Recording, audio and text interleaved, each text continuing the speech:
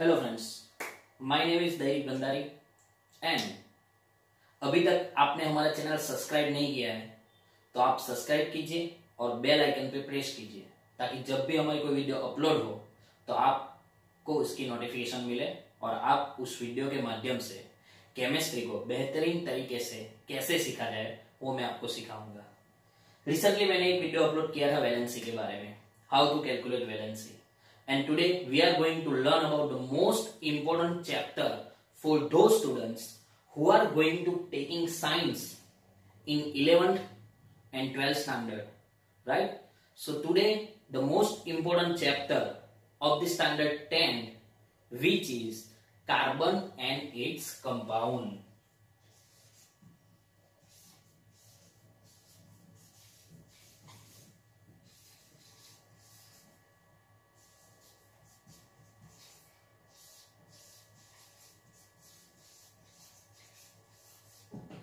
first of all जैसे ही carbon का नाम आता है, वैसे ही आपके दिमाग में कुछ घोड़े दौड़ने लगे होंगे राइट पहले तो कार्बन एटमोस्फियर में पॉइंट ज़ीरो थ्री परसेंट है। कितना परसेंट है? Point zero three percent in atmosphere और अर्थ क्रस्ट में वो पॉइंट ज़ीरो टू परसेंट है इन अर्थ क्रस्ट राइट सो जैसे कि मैं आपको बता रहा हूँ कार्बन एंड इट्स कंपाउंड के बारे में बोर्ड में जो कोई भी स्टूडेंट होगा टेंथ का, उसको सबसे ज़्यादा कोई चैप्टर हार्ड लगेगा केमिस्ट्री का तो ये चैप्टर होगा। लेकिन आज आप हमारे वीडियो के माध्यम से इस चैप्टर को कैसे इजी तरीके से सीखेंगे, वो मैं आपको बताऊँगा। तो पहले जब भी कार्बन का नाम आता है तो उसका point zero three percent atmosphere है point zero two percent earth इतना कम होने के बावजूद कार्बन इतना इंपॉर्टेंस हो गया है। चलिए बात करते हैं फ़ूड अभी फ़ूड में क्या होगा? Carbohydrates and carbohydrates contain carbon carbon right जैसे कि एटमोस्फियर में कार्बन डाइऑक्साइड है, उसमें भी कार्बन है। कोई भी अगर कोई सब्सटेंस ले लेंगे तो उसके अंदर कार्बन प्रेजेंट है और रहेगा। तो आई मीन टू से कि सुबह से लेके शाम तक हम जो भी चीज़ें यूज़ कर रहे उसके अंदर ये कार्बन हमें कॉमन मिलेगा। एटमोस्फियर में कम मात्रा में होने के बावजूद कार्बन का बहुत ही ज़्यादा यूज़ हम करेंगे और करते आ रहे हैं। तो चलिए पहले तो सीखते हैं कार्बन के बारे में। तो कार्बन का साइन क्या है? सी कैपिटल सी राइट उसका एटॉमिक नंबर क्या है? सिक्स और जैसे कि मैंने आपको अगले वीडियो में सिखाया था, अगर उसकी इलेक्ट्रॉन कंफिग्रेशन बनानी हो तो कार्बन की इलेक्ट्रॉन कंफिग्रेशन क्या बनेगी? Two and four right so carbon में कितने वैलेंस इलेक्ट्रॉन है? तो हम बताएँगे कि भाई आउटर मोस्ट सेल में जितने भी इलेक्ट्रॉन है, उसे हम बोलेंगे valence electron that means four right अभी बात आती है कि इसकी वैलेंस इलेक्ट्रॉन फोर है डेट मीन्स उसकी वैलेंसी भी फोर ही होगी राइट लेकिन अभी प्रॉब्लम क्या है कि कार्बन की अगर वैलेंसी चार है राइट तो पॉजिटिव प्लस फोर है या नेगेटिव फोर है। बहुत सारे बच्चे को इसमें डिफ़िकल्ट लगता है कि कार्बन की प्लस फोर आएगी या माइनस फोर आएगी। लेकिन मैं आपको एक्सप्लेन करता हूँ कि कार्बन की कैसे ये प्लस फोर पॉसिबल है या नहीं नेगेटिव फोर पॉसिबल है या नहीं।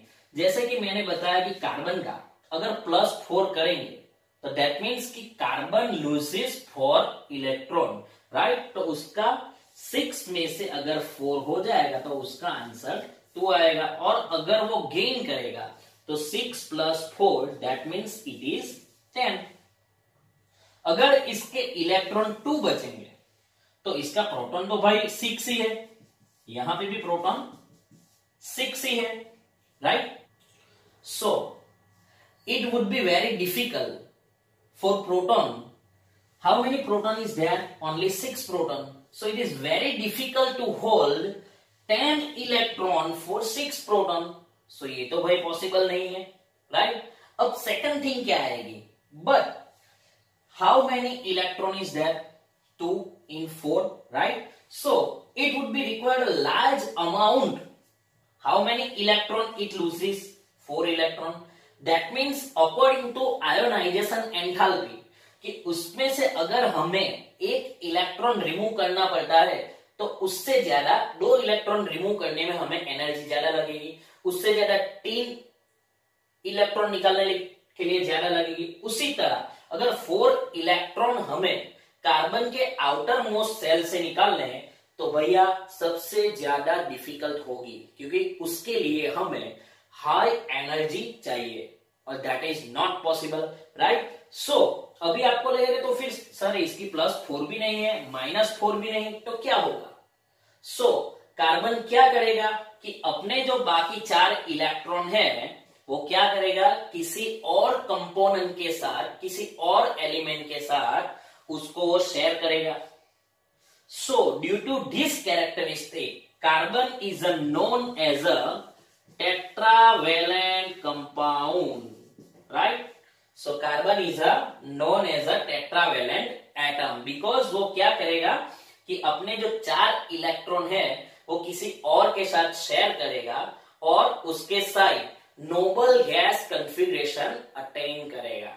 अभी आपको मालूम नहीं होगा कि वो नोबल गैस मतलब क्या वो कैसे अटेन करेगा। सो so, कार्बन क्या करेगा?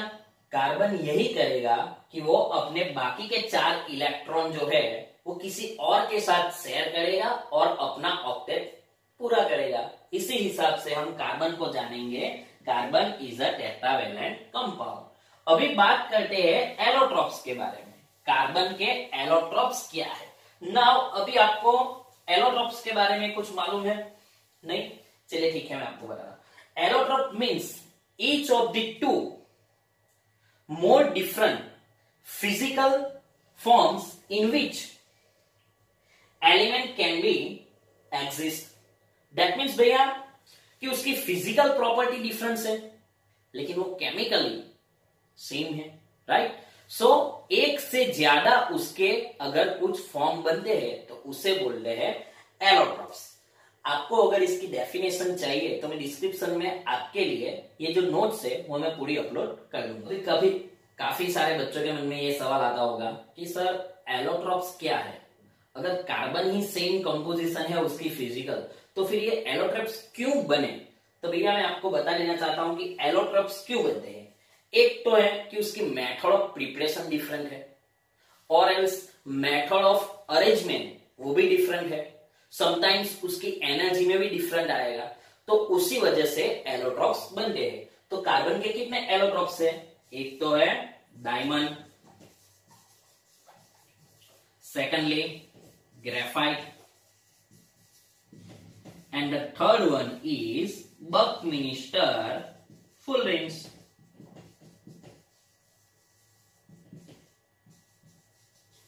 right so अभी बात करते हैं डायमंड की तो diamond is a hardest substance on planet क्यों भैया? कार्बन को हार्डेस्ट क्यों बना? तो भैया, आपने जब बचपन में थे तो हम लोग वो कहानी तो सुनी होगी। कि एक आदमी जो है, बूढ़ा आदमी, वो अपने बच्चों को एक लकड़ी देता है, बाद में दो देता है, बाद में तीन देता है, बाद में वो पूरा लकड़ी, बहुत सारी लकड़ियों एक साथ तोड़ने को बोलता है, वो नहीं तोड़ पाते। उसी तरह डायमंड के अंदर भी वैसा ही है। कार्बन को जैसे हमने बोला कि वो टेट्रावेलेंट कंपाउंड है तो क्या करेगा कि ये कार्बन है, दूसरे और चार कार्बन के साथ जुड़ जाएगा। तो अभी ये क्या होगा? ये कार्बन दूसरे तीन और के साथ जुड़ जाएगा चार के साथ। ये कार्बन दूसरे चार के साथ जुड़ेगा ये कार्बन दूसरे चार के साथ जुड़ेगा। वैसे ही ये एक के बाद एक उसका फॉर्मेशन होता रहेगा राइट सो so, इसके अंदर एक भी फ्री इलेक्ट्रॉन नहीं है। That means if we want to pass electricity from the diamond that is not possible क्यों भैया? क्योंकि इलेक्ट्रिसिटी पास करने के लिए हमें फ्री इलेक्ट्रॉन चाहिए। So we can say that diamond is a bad conductor of electricity am I right उसी तरह से बात कर करते हम ग्रेफाइट की। So graphite has a free electron that means graphite can pass the electricity so that's why graphite is a good conductor.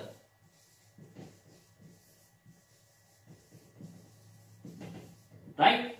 And so it has a free electron so that's why graphite is a soft and the buckminster full rings is a football like structure so it has a six member ring also and a five member ring also so these are the allotropes of carbon अभी इस chapter में हमें इसके allotropes के बारे में सिर्फ़ यही जान रहा है राइट चलिए तो अब बात करते हैं हम वर्सेटाइल नेचर ऑफ़ कार्बन कि कार्बन का वर्सेटाइल नेचर क्यों है? तो नावाडेज बहुत सारी मेडिसिन भी उपलब्ध है, बहुत सारी ऐसी चीज़ है जो कार्बन के अंदर से बनाई जा रही है।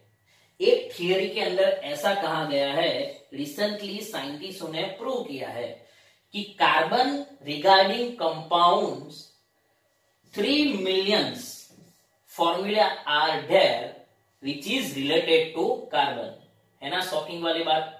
लेकिन ये है जो साइंटिस्ट ने प्रूव किया है। अभी बात करते हैं वर्सेटल नेचर क्यों है? तो दूसरा क्या है कि formation of covalent bond covalent bond means it link by a single bond with another atom right so formation of covalent bond second thing structure of a simple carbon compound that is also possible chain में भी carbon की compound long chain present है ring structure भी present है, वो सब हम बाद में सीखेंगे, लेकिन पहले देख लेते हैं वर्सेटाइल नेचर क्यों कहते हैं कार्बन का?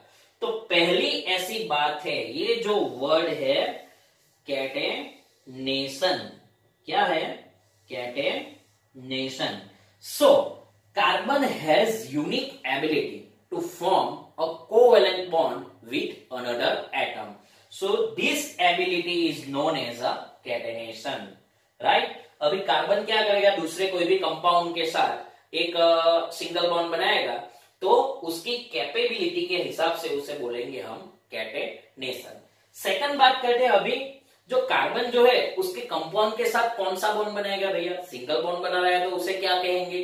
डबल बॉन्ड बना रहा है या फिर ट्रिपल बॉन्ड बना रहा है तो उसे क्या कहेंगे? तो सबसे पहले आता है सेचुरेटेड नाउ आपको ये लगेगा कि सेचुरेटेड क्या है?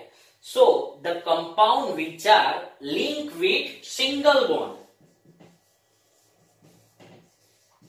the compound which are link by single bond with carbon and and atom so this is known as a saturated compound right unsaturated compound क्या है? अनसेचुरेटेड कंपाउंड है कार्बन हैविंग अ डबल और triple bond क्या होगा? Double और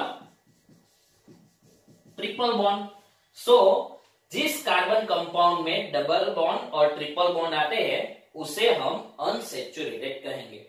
तो भैया, अभी बात आएगी अल्केन अल्किन एंड अल्काइंस तो अल्केन क्या है?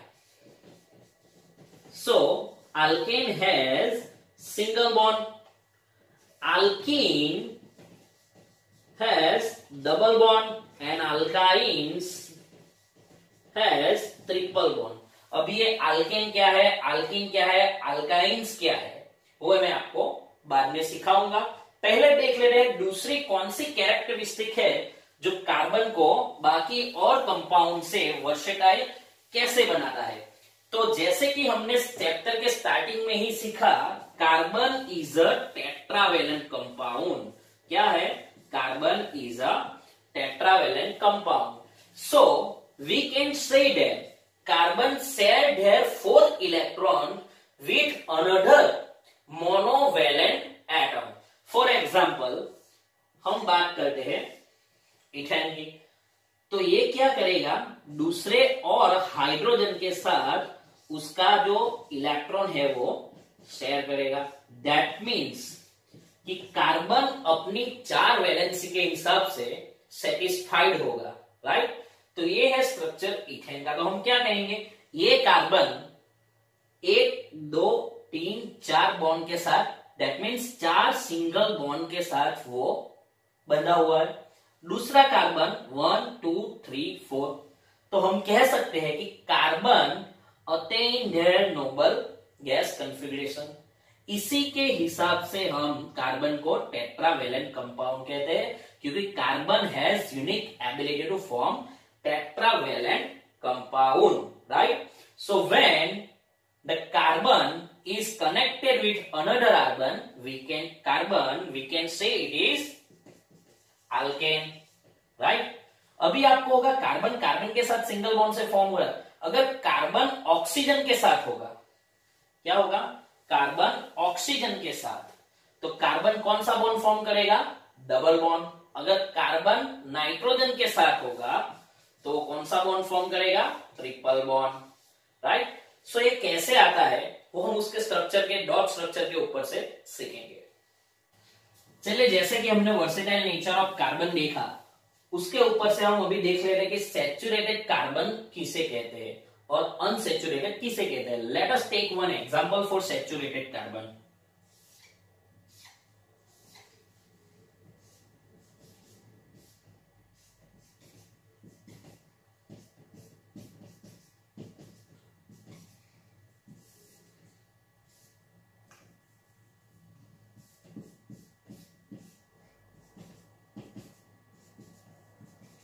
यहाँ पे मैंने आपको दो एग्जांपल दिया है। एक है मीथेन एक है ethane that means one carbon can make a four covalent bond so that's why carbon is known as a tetra group अभी ये दोनों में एक चीज़ कॉमन क्या है? कि दोनों कार्बन सिंगल बॉन्ड से बंधे हुए that means all alkanes are saturated क्या बोल सकते हैं हम? All alkanes are saturated right now one more thing all alkanes are that means all saturated compound are less reactive क्या बोलेंगे हम उसको लेस रिएक्टिव अभी आपको लगेगा कि ये लेस रिएक्टिव क्यों है क्योंकि ये जो बॉन्ड है सिग्मा बॉन्ड उसको तोड़ने के लिए हमें ज़्यादा एनर्जी लगेगी पाई बॉन्ड के हिसाब से कंपैरिजन में right so covalent bond is a strong bond so that's why it is less reactive अब बात करते हैं हम अनसेचुरेटेड कंपाउंड के। तो अनसेचुरेटेड में हम ले लेते हैं ethyne C double bond C right और else C triple bond C तो अभी यहाँ पे क्या होगा भैया? कि यहाँ पे डबल बॉन्ड है और ट्रिपल बॉन्ड है। जैसे कि हमने आगे सीखा कि if the compound has double और triple bond then it is known as a unsaturated compound now in this compound there is a one sigma bond and one pi bond in this compound two pi bonds and one sigma bond तो this both are more reactive than single bond or else saturated compound.